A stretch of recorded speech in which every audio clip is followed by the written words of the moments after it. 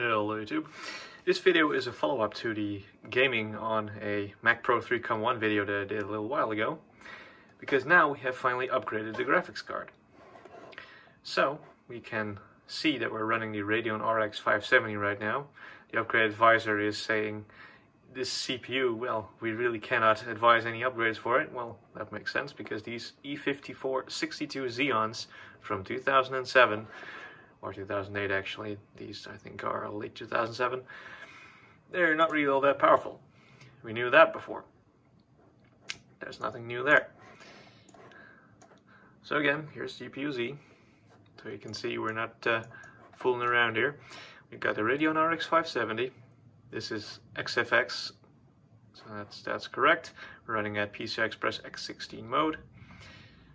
256-bit memory bus. We have 8 gigabytes of Samsung DDR5 or GDDR5 rather on this thing, and we're running the latest Adrenalin drivers that I could find. They are from late August of 2020. So um, yeah, full fat RX 570 in an old Mac Pro. That's now 12 years old. So uh, let's revisit the benchmarks that we did in the last video and uh, compare them side by side and see uh, what it looks like. And here we are looking at the very first benchmark. On the left hand side we have the RX 570 and on the right hand side we have the Radeon HD 5870. This is Mafia 2 Definitive Edition, a remaster that was released in this year.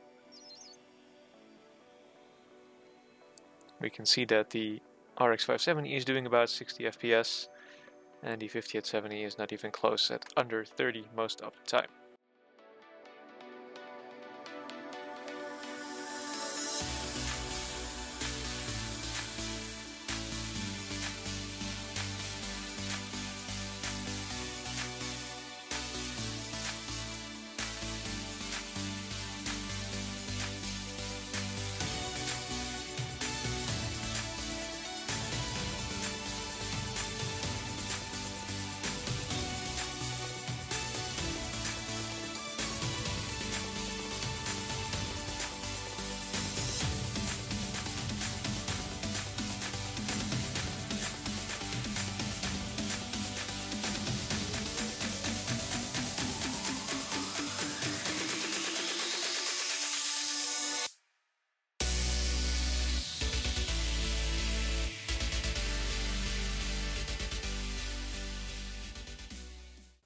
The second benchmark is Mafia 2 Regular Edition. The 5870 run on the right was actually capped by VSync, so it would have probably run about 70 FPS at the best. And the RX 570 is very comfortable running 100 FPS plus most of the time.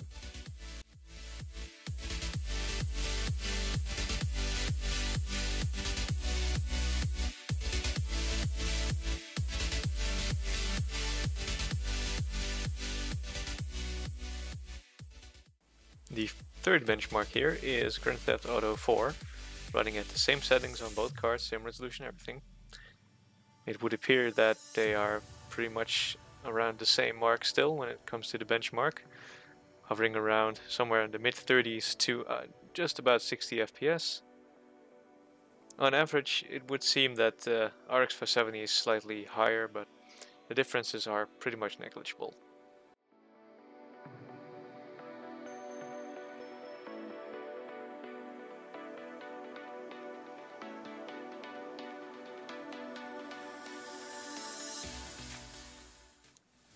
And here we've arrived at the second to last benchmark.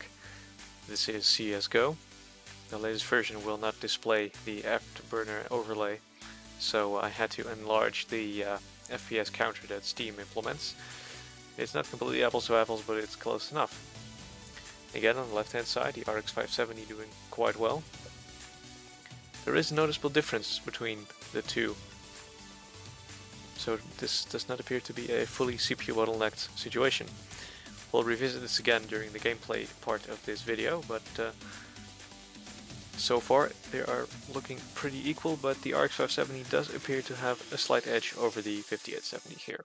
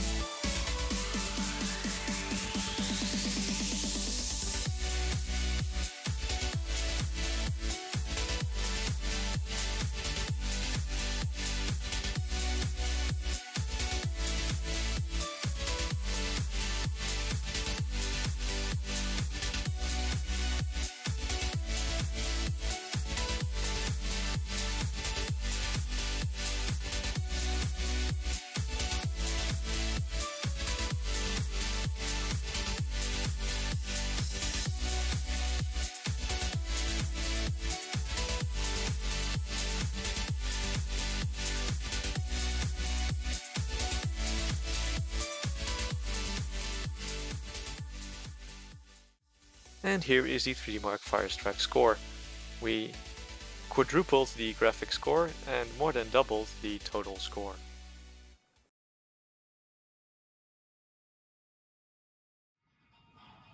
Alright, so let's kick off the gameplay demonstrations using CSGO or Counter-Strike Global Offensive. I'll see if I can get the FPS counter uh, a bit bigger in edit.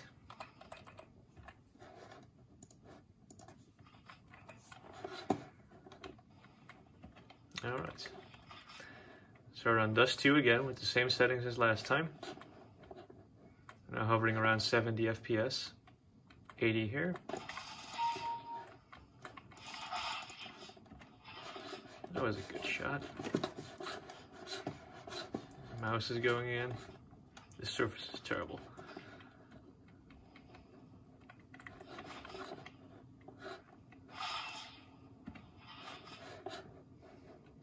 That was impressive.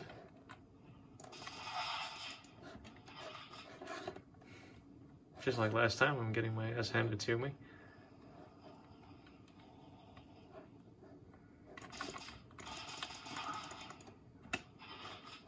They're all AKs though.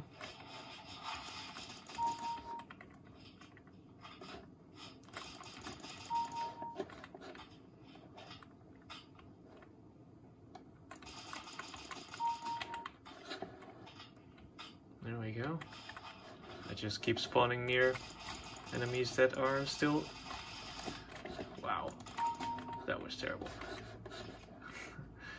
keep spawning near enemies that are still invulnerable though. Well, that's okay.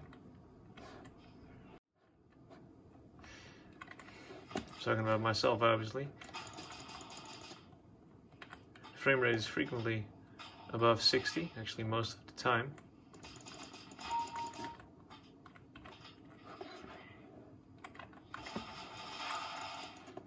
Oh, I was just about to shotgun him. Cause that's fun.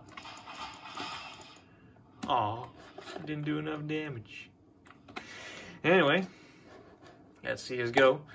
So we definitely went in-game uh, from the lowest that we've seen is about 40 FPS to way up to 100 on Dust 2 that's a pretty good improvement over last time where we were hovering about the 40s on the top end. So even CSGO was not 100% CPU limited, it would seem.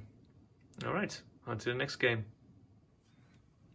All right, let's uh, go for Crysis. Let's go over the options first. We can now select 1920 by 1080, so I have. Again, all very high settings. You can also set objects to very high now. Apparently we overlooked that one. So now we're going to go for the full-on everything maxed out approach. We'll load back into the game that we played last time.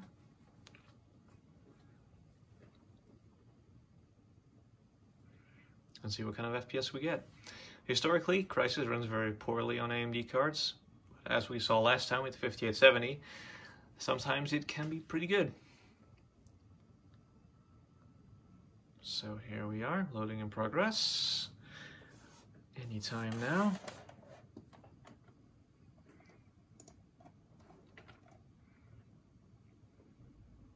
And here we are.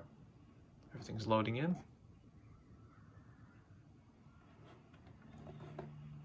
Just going to give it a little bit of time.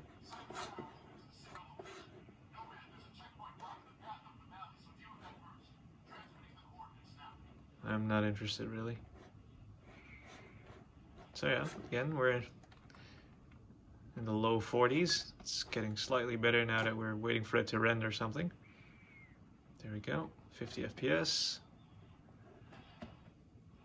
We can go through this gorgeous looking water. It was gorgeous in 2007 anyway. Still in the 30s. 1920 by 1080 maxed out. Little dip into the 20s.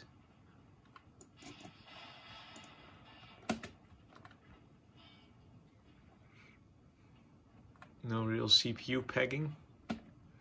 GPU is at near 100% sometimes. It's fluctuating a bit.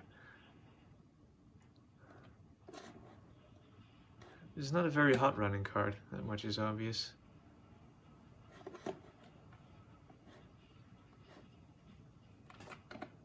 Okay, so if we compare that,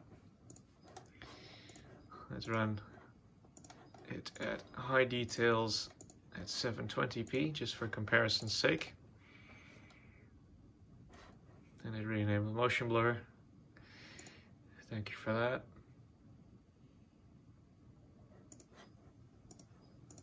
Turn that back off real quick. Nobody likes that. And it's actually more of the same.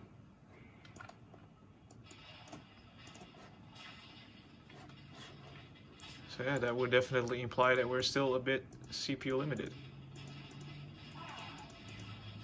Well, we get shot from this boat here. I would hate that dude.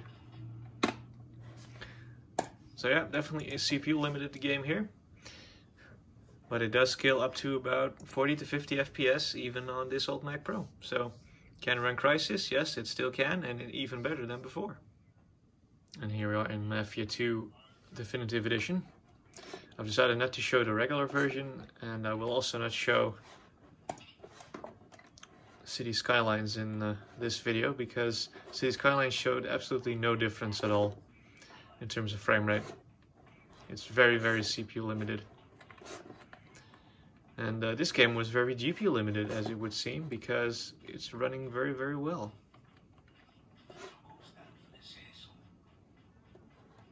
We're hovering around the 60 FPS mark. We had these frame rates last time in the regular Mafia 2 version, but this is definitely the definitive edition. As you can see, uh, because we can pick this car, which is of course the car from Mafia 3. We're still around the uh, 60 FPS mark. Everything is set to high detail. Anisotropic filtering is at 16x. And the resolution is 1920 by 1080.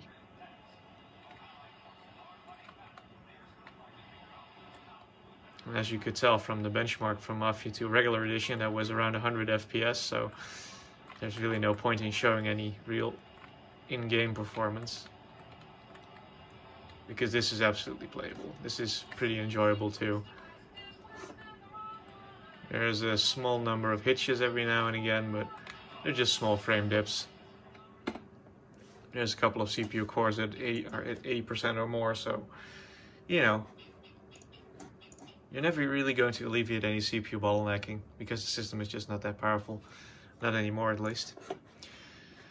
So, uh, let's finish off with a bit of GTA 4 for the real reason that the benchmark showed about 50, 60 FPS, but the gameplay was around 20. Let's see uh, if that's any different. This is also a notoriously CPU demanding game. It was ported very poorly from the Xbox 360. So let's see how the PC version runs now that we have a beefier graphics card. And now we're in GTA 4. Okay. It's still not perfect by any stretch of the imagination, but it is a better frame rate. Alright, let's steal a car here.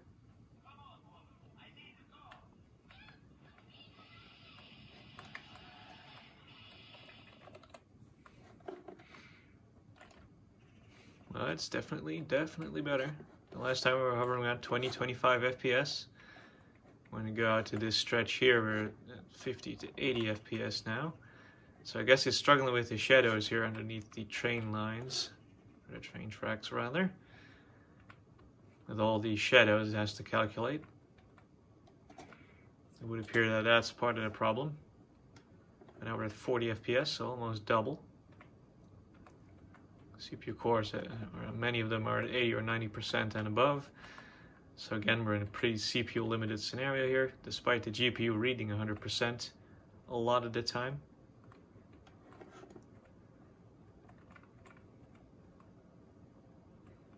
Get some speed up here, still around a 40 FPS mark. Oh, we couldn't quite clear that barrier. Such a shame. Such a shame.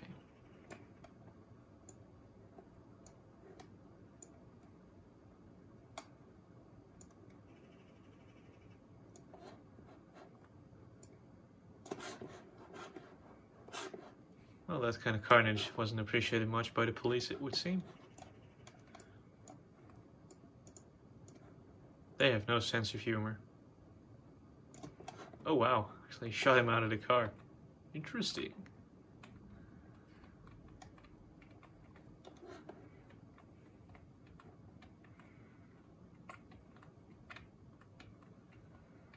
Yep, this is definitely playable. This is how I used to play it back in the day, really, when I even had a dual-core CPU. This was basically how it ran. So, yeah. Looking good. So yeah, with that and the benchmarks that I've shown in the previous part of this video, I suppose uh, this really shows that there was still definitely some performance to be had by upgrading the graphics card to a faster one. Also takes me back to the days when I had a 7950 in my Mac Pro 3.1, when that was my main system. But uh, this is actually still a bit faster. So uh, yeah, I enjoyed this little experiment here. I hope you also enjoyed this video. I thank you all for watching and I'll see you guys in the next one.